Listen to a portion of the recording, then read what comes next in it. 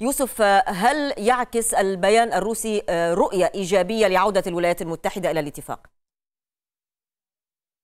بالفعل هذا ما يفهم من بيان ممثل روسيا الدائم لدى آه، الوكالة الدولية للطاقة الذرية ميخائيل أوليانوف هذا يعكس تفاؤل روسيا الكبير بإمكانية عودة الولايات المتحدة وإيران إلى اتفاق خمسة زائد واحد خاصة وأن موسكو تدفع بهذا الاتجاه منذ خروج آه، الرئيس الأمريكي السابق من هذا آه، الاتفاق. على الرغم من أن بيان ميخائيل أوليانوف كان شديد الإيجابية ووصف بأن الدول التي حضرت هذا الاجتماع هي في الطريق الصحيح لكنه أشار إلى نقطة في غاية الأهمية وهو أن الطريق طويل جدا ويتطلب الكثير من العمل لكنه نوه أيضا إلى أن الأطراف المعنية لربما ستعمل بالكثير من الدبلوماسية للعودة إلى هذا الاتفاق. موقف موسكو واضح جدا من الاتفاق النووي الإيراني هي تصفه بالاتفاق التاريخي وترى بأن إيران متمسكة بهذا الاتفاق وتدعو دائما إلى ضرورة العودة الغير مشروطة للولايات المتحدة اتفاق خمسة زائد واحد مع رفع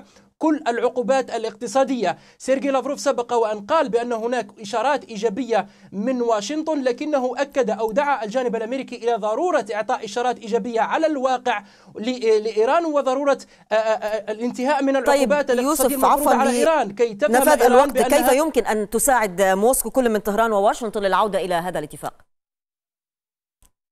بالفعل هناك زيارة لوزير الخارجية الروسي سيرجي لافروف إلى طهران في الثالث عشر من الشهر الجاري. سيناقش مع الجانب الإيراني مع محمد جواد ظريف سبل العودة إلى الاتفاق النووي الإيراني. موسكو تدفع بكل الجهود الدبلوماسية لمحاولة إقناع إيران على الأقل بالجلوس إلى طاولة المفاوضات مع الجانب الأمريكي خاصة وأن طهران رفضت الجلوس إلى طاولة المفاوضات بشكل مباشر حتى ترفع العقوبات الاقتصادية الأمريكية على الجانب الإيراني. موسكو لا تنتظر من سيخطو الخطوة الأولى بين واشنطن وطهران نحو الاتفاق النووي الإيراني وتدعو جميع الأطراف إلى ضرورة تسريع الجهود الدبلوماسية من أجل المحافظة على هذا الاتفاق الذي تصفه موسكو بالاتفاق التاريخي. أشكرك شكرا جزيلا من موسكو. كنت معنا يوسف بيغار